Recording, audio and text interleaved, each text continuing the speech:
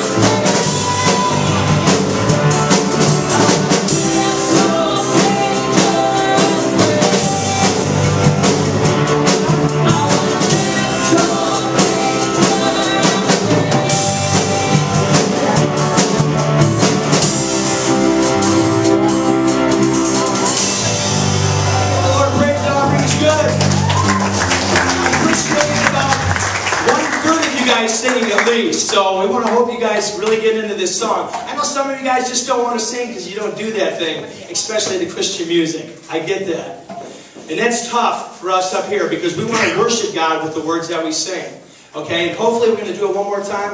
And, and if and this is very important, I want you guys to understand this. I understand if you do not connect spiritually with these words, it means nothing to you. And I get it if you don't sing. Okay, if it means nothing to you, you probably shouldn't sing that song because all you're doing is just going through the motions, and it, it's not really giving God the glory. But if you if you do understand what the words are, are, are saying, in the meaning of this song, and as you're listening to the message and God pricks your heart to draw you closer to Himself, then these words start to becoming meaningful to you. And as you listen to the word that, that Mr. Thompson's preaching today, take a, a deep introspection into, into what he's saying. And then when we come back together again, if these words mean something to you, you have a reason to sing. God has given you a reason to sing. Let's pray, and then Mr. Thompson will come up. Heavenly Father, thank you for this day. Lord, I thank you, Lord, for all that you do for us. Each and every day, Lord, help us to give you credit where credit is due. You are the creator. Lord, you are the Almighty God. Lord, help us today, Lord, just to listen to your word, this, this last message that is given to us. Lord, that you would make hearts tender, that your Holy Spirit would minister to our spirits today and reconnect us with you. We thank you in all that we say and do. We give you praise. In your name we pray. You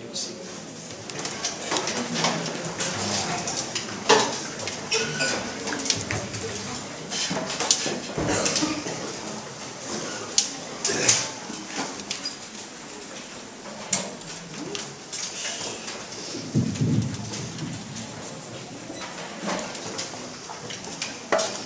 Mr. Gospel, I tried to help. You did awesome. Good job. Thanks, Mr. Thompson.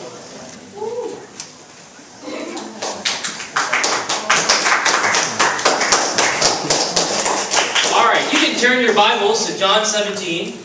And I know some of you might have packed away your Bible. Never. And some of you, for some reason, we forgot to put Bible on the things to bring list. So, I know. Shocking. I don't know who made this list, but he should be shocked. All right, we're going to be talking about this morning the truth this world needs. Now, let's go to the next slide. I hope by now we've talked about uh, yesterday. We talked first about proclaiming God's truth is not easy, but needs to be done in a spirit of love. And again, proclaiming truth in a spirit of love doesn't just mean preaching at people, and doesn't mean you're just waiting to pounce like a lion upon people who are doing anything that you find objectionable. But it's a spirit of love that says, I have a friend or I have a loved one that's going down the wrong path, and I have to say something. I have to do something. And then we talked a little bit last night about the truth about ourselves, and we saw that if we look at ourselves realistically through the mirror of God's Word, we see that we are sinful people who are dependent upon others, but more importantly, are dependent upon God's grace to accomplish anything worthwhile. And so this morning, we want to move on. We want to talk about the fact that people need the truth that we have. We must stand together in proclaiming this truth. Let's go to the, the next slide. John chapter 17. And I want to look at this passage, and, want, and the next slide, we're not going to get there yet, but the next slide, I want to ask you a question that may take you a little off guard. So, John chapter 17 and verse number 6. If you don't have your Bible, just, just listen on as I read it. I have manifested your name to the people whom you have gave me out of the world. So, Jesus right now is in the upper room with his disciples. He is about to be crucified. We have in the, these, these, these couple chapters here in John, we call the upper room discourses, or Jesus in the upper room, and he's talking with his disciples basically one last time before he's crucified. This section we call Jesus' high priestly prayer. This is a prayer from Jesus to God. Yours they were, and you gave them to me, and they have kept your word. Now they, they know that everything you have given me is from you. For I have given them the words that you gave me, and they have received them and have come to know in truth that I came from you. And they have believed that you sent me. I am praying for them. I am not praying for the world, but for those whom you have given me, for they are yours. All mine are yours, and yours are mine, and I am glorified in them. And I am no longer in the world, but they are in the world, and I am coming to you. Holy Father, keep them in your name, which you have given me, that they may be one, even as we are one. While I was with them, I kept them in your name, which you have given me. I have guarded them, and not one of them has been lost except the son of destruction, that the scripture might be fulfilled. But now I am coming to you, and these things I speak in the world, that they may have my joy fulfilled in themselves. I have given them your word, and the world has hated them because they are not of the world, just as I am not of the world. I do not ask that you take them out of the world, but that you keep them from the evil one. They are not of the world, just as I am not of the world. Sanctify them in the truth. Your word is truth. As you sent me into the world, so I have sent them into the world. And for their sake I consecrate myself, that they may also be sanctified in truth. So, here we have Jesus, and he's praying to the Father. And he's saying, Lord, you have given me these people.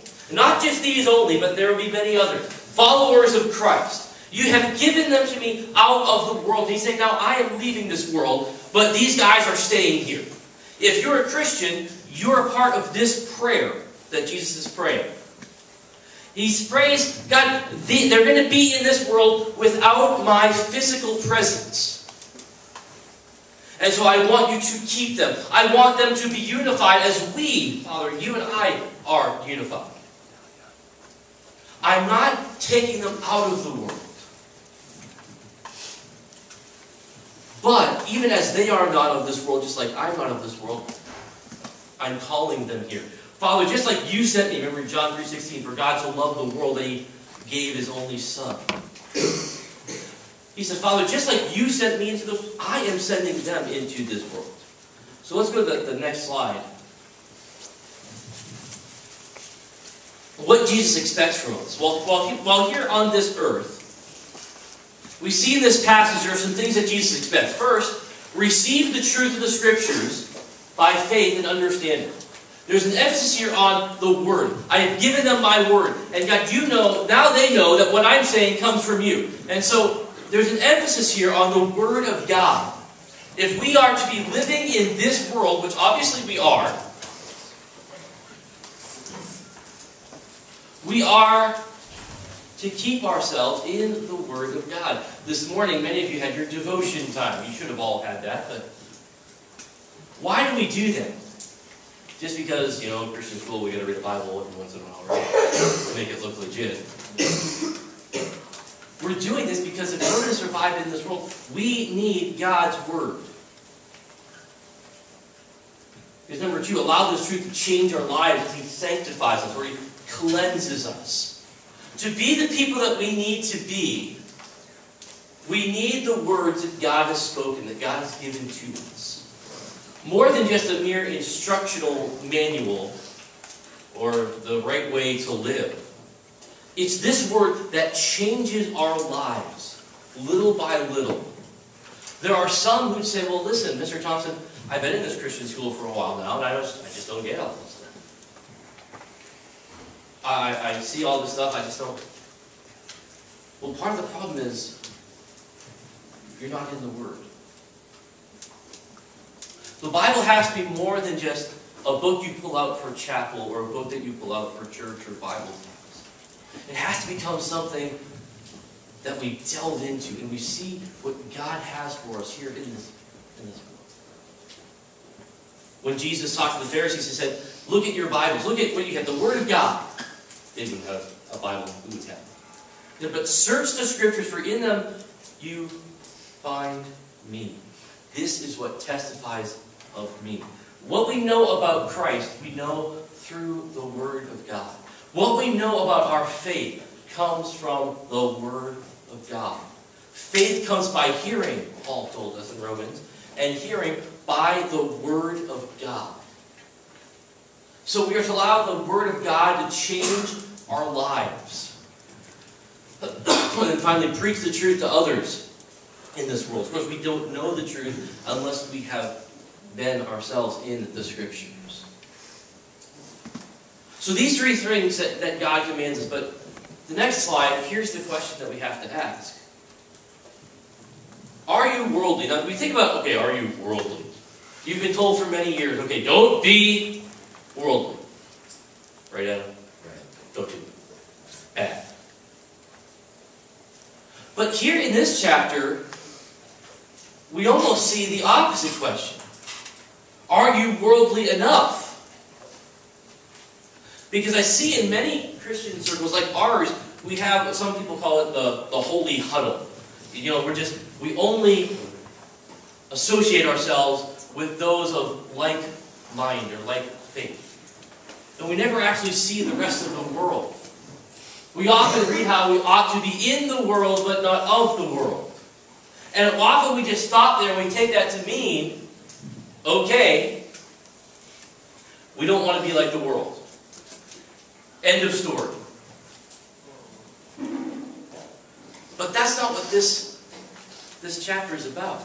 Jesus saying, I want you in this world. No, you are not of this world. You're not like this world. You think differently from this world. You are different type of people in this world. But you are to be in here. You're to be out among the world. There are too many times, I've heard it a, a million times, the scare tactics almost that some people uh, want to foist upon us. Well, don't go out there because, you know, this world is really, really bad. And I don't know how many times I've heard this in different um, settings, but, you know, you are going to lose your faith when you go to college. Unless you go to such and such Bible college. You're going to lose your faith, right? Because your liberal, gay, atheist professor is going to indoctrinate you to the degree that you're going to lose your mind, reject Jesus, and start smoking pot or whatever. and we get this like, oh no, we can't go out there. We can't interact with someone who's not saved because they're not like me. Because they don't believe what I believe. And this world is so bad. You know, back when I was a kid, we can tell the stories of, you know, back when I was a kid when kids respected their parents. Back when everybody loved Jesus. You know, it just gets embellished and embellished. I remember one guy trying to tell me that, you know, I remember when I was a when I was a young boy, I think, you know, you had to have a Bible degree to get any public office. I don't know where you grew up, but that's never really happened. Sometimes we think back on those days with a, a great embellishment. And because this has to be worse than the past. Every generation talks about how bad the current generation is. And someday, you will be telling your grandchildren how bad it is today. And back when you were a kid, you always listened to Mr. Thompson. When that day happens, I want you to give your grandchildren my phone number, or whatever electronic device we'll be using at that point, telepathic signals or whatever, and I will tell them the truth about it. But the reality is, we look at all these bad indications. We can look at uh, abortion rates and teen pregnancy rates and murder rates and all these horrible, horrible, horrible things. We can talk about the rise of gay marriage. We can, and sometimes Christians are living in a, in a spirit of fear when it comes to this world. But that's not the spirit that Christ is talking about here. He's saying, listen, you know what? Things are bad in this world, and that's why you need to be here. That's why we need you to be the Christian that the, the, the scriptures talk about because this world needs that from you. This world needs to see what it is to be forgiven, to have mercy, to reflect God's love. This world needs to see Christians who love Jesus. Of course, everything is going to be bad if we take everything good out of society. And if we just stick within our churches, if we just stick within even our, our, our Christian circles, we are forsaking the commandment that God's given us here. Speaking truth is difficult and it's hard in Christian circles, but it's especially hard in this world, outside our, our, our, our holy huddles. But that's where God has called us to be. The point of this Christian school is to train you to one day go out into this world. The goal for you is not always to be in this situation. Uh, a couple years ago, I, I, I spoke at graduation, talked about the idea of the bubble. Sometimes Christians will compare to a bubble, we shield you from everything that's outside. We just live in this little enclosed community. And maybe that's true to an extent, but the purpose of that bubble is to break it. It's like an egg. The egg is supposed to house the, the creature, right? If you break that egg, too soon, what happens? I have an enjoyable breakfast. But if you allow that egg to hatch and to break at some point, you have a creature, you have a being of whatever sort. That's the point of the egg is not to keep it that way, but to shatter it. This world needs you. But as we've learned before, this world doesn't know that. And so they hate you. In fact, that's what they said here of Christ. This world hates, will hate us because of Christ. But this world so desperately needs us. And we learned about the truth of truth. Meaning it's difficult, it's hard, but we do it because of love. There is a world that, yes, that is wicked, it's horrible, but it's dying. Without the gospel message, they will end up in hell someday. That's what the scriptures teach us. And if we really do believe the scriptures as given to us, we can't ignore the reality of the situation that the world needs the truth that we have. This truth, we learned about last night, this gift, this gift of truth, was not meant for just us, but was meant to go to others through us. And if we just keep this here, we have missed the point entirely. We can live comfortable Christian lives. We go to church, we only fellowship with like-minded believers, we only watch Little House on the Prairie or whatever, Anne of Green Gables, or if you have your TV Guardian, whatever. And so we can, we can live our comfortable Christian life, never being confronted with anything that ever disagrees with us, never being confronted with anything uncomfortable or out of the ordinary. And we can live that way, but if we've lived that way, we realize you've done it wrong. We realize this is not what God has intended for us. God has intended for us to be champions of truth, to be proclaimers of the gospel message. It's easy to ignore that. It's easy to just point your finger at the world and just say how bad it is and go along your merry way, Bible in hand, heading off to church. Which you should do. But we need to be people who are in this world proclaiming the gospel message and thereby helping others. We may not win this world entirely. But there are people in this world whom God died for, whose sins were covered on the cross of Calvary, that we are commanded, we are commanded to bring the gospel message to. They're everywhere. Christ said, the fields are white unto harvest already. But if, I don't know much about harvesting. I'm not a farmer. I like to watch TV and sit on the couch. I don't know about milking cows or what else we do. Farmers do something plant crops, right? I don't know much about that, but I do know that to harvest a crop, you actually have to go out and do it, right? It doesn't just pop out of the stalk or pop out of the ground and wind up on my dinner plate. People have to go out and do that. And that's what Christ has called us to do. Let's go to the, next one. But how do we survive in all of this? All right, if we go into this battle, go into this world that's hostile against us, well, how do we how do we keep saying how do we avoid the liberal college atheist professor who wants to steal our faith and so on and so forth? Well, Christ has given us something. First, he says to be sanctified, to be cleansed by the truth of the Word of God. God has given us His Word. He has not left us alone. Christ told the apostles, I'm not leaving you as orphans. You have my Word.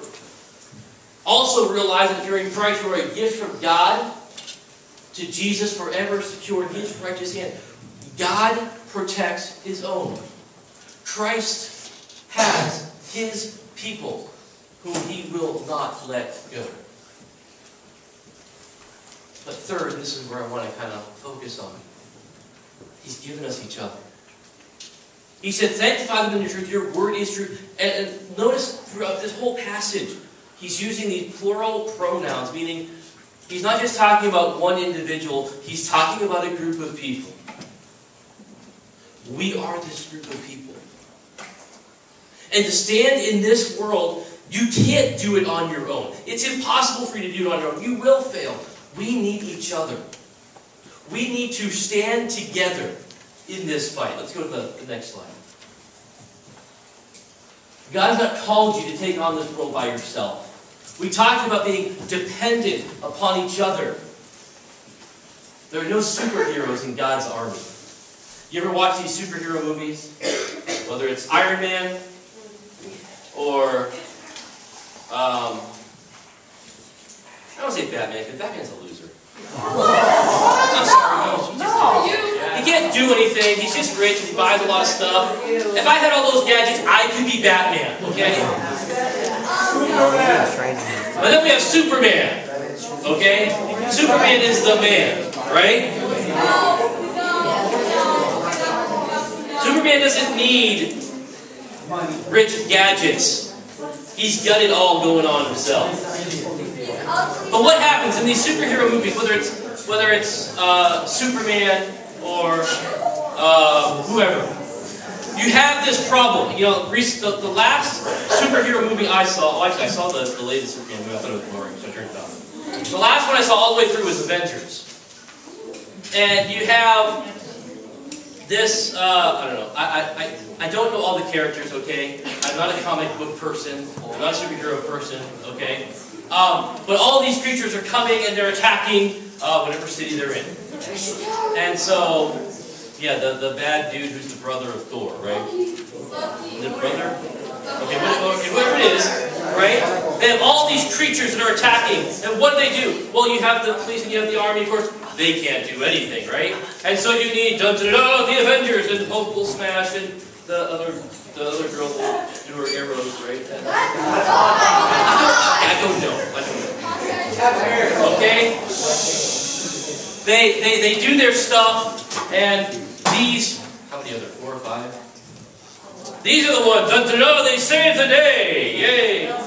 Or if you have a problem, what do you do? You throw up the bat signal, and that guy shows up with his little gadgets, and he, you know, saves the day because he's rich and he's not cool enough to have superpowers himself. Or you have a problem, and look in the sky, it's a bird up.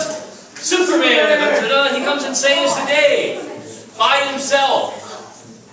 Maybe, you know, you, you see an action movie and Chuck Norris shows up, and because, you know, the army is, are a bunch of idiots, they can't do anything, so they need Chuck Norris to come here and single-handedly defeat everybody.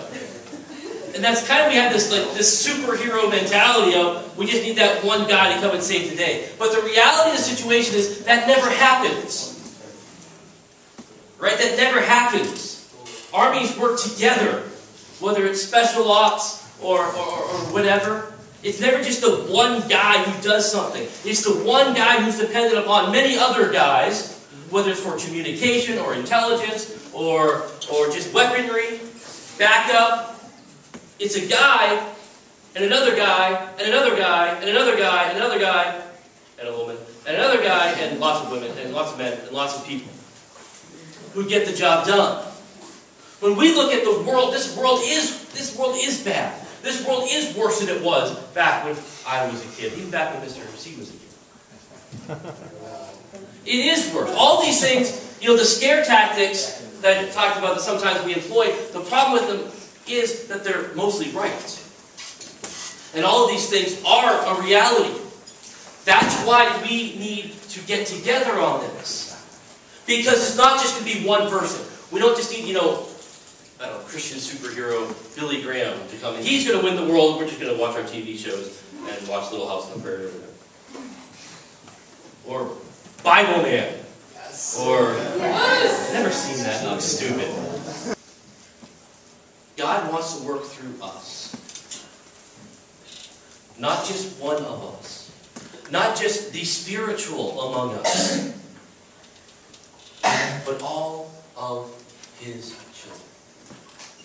We need to be working together. One of the reasons why we have this retreat is because we want to foster that unity that needs to be there. Not just so that we can have a good school year. Not just so that we can get to know everybody. Not just so that people feel welcome. Those are all good things. We want those things to happen. But one of the main reasons is because this world needs to see a unified body. Because as we saw here, Christ isn't physically in this world right now. Christ works through his body, and that's us. That's what we talked about last night. That's how Christ works here. It is through his people. That's why we do all of these things. That's why we try to train you in the way that we're doing. Let's go to the last slide. So, as we talk about living dangerously, our purpose for you is to go out into this world and to go out, live dangerously together. Right, let's pray. Lord Jesus, we pray that within this room, you would unify your people. And Lord, we know that in this room there are those who are saved and those who are not. And Lord, I pray that those who are not saved will be able to see a unity and a, a specialness here from those who love you. Our desire is to reflect your love to a world that so desperately needs it. Lord, I pray that those who don't know you will see that need through us. Lord, help us to stand together as we witness for you here in this world. In your name we pray.